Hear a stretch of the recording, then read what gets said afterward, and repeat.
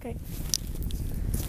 I just realized that a lot of the passengers and a lot of the people that is, is here is wondering what a plant scientist is doing in Antarctica.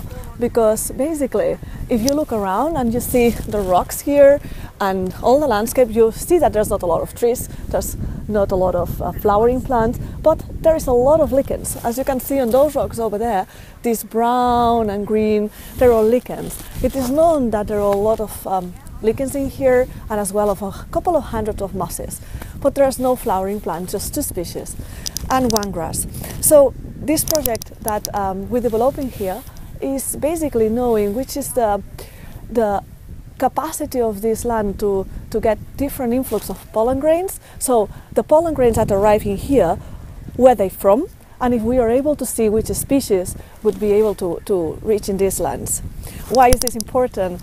Uh, basically, one of the most important things in, in, this, in this century is the effects of climate change in, in the land, in Antarctica in particular, and what would happen if the winds that normally reach this land change direction and change the, the power.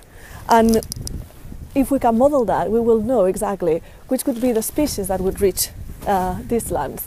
And then maybe we will then know which are the the pollen capacity, the distribution and the dispersal capacity of these flowering plants.